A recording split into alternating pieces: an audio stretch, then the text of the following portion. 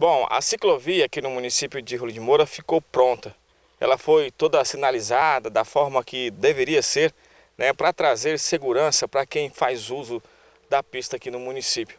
Porém, o que tem chamado a atenção nos últimos dias, desde quando foi construído e finalizado o trabalho na ciclovia, foi os próprios ciclistas que fazem uso, porém de uma forma incorreta. A gente vai explicar o porquê, mas quem vai explicar é o Roller, que é presidente da, é, da Associação de Ciclismo aqui do município de Rolim de Moura, a CRE, que falar um pouco mais sobre esses detalhes que tem chamado a atenção e trazido risco para a vida dessas pessoas. Temos aí pedalado, temos encontrado pessoas pedalando, praticando o seu esporte preferido, mas de maneira errada não tem usado aí os equipamentos de segurança para poder se prevenir e também prevenir os outros ciclistas que estão na ciclovia, porque nós sabemos aí que um acidente pode acontecer a qualquer momento e se você tiver sem os seus itens de segurança, pode ser fatal, você pode se machucar mais. Então vamos pedalar, mas vamos pedalar consciente, vamos estar usando aí os nossos itens de segurança básicos do ciclismo, que é o nosso capacete, é pedalando durante a noite, vamos usar o farol. Tem muita gente aí pedalando com roupa escura escura e ainda sem farol, sem nada. De repente, do nada, assim, aparece na frente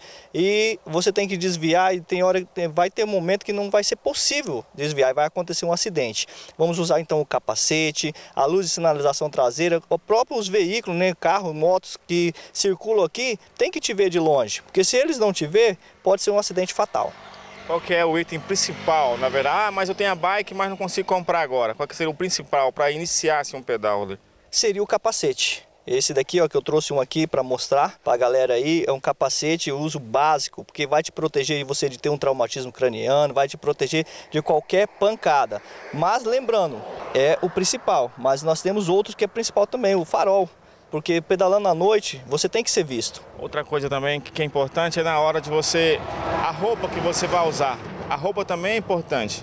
Sim, a roupa é importante, principalmente à noite. Você usar roupas claras, é, que dá para identificar você de longe. Por exemplo, pode vir aí com verde limão, com laranja. São cores que de longe dá para você ser identificado. Hoje aqui no município o número de ciclistas cresceu bastante também.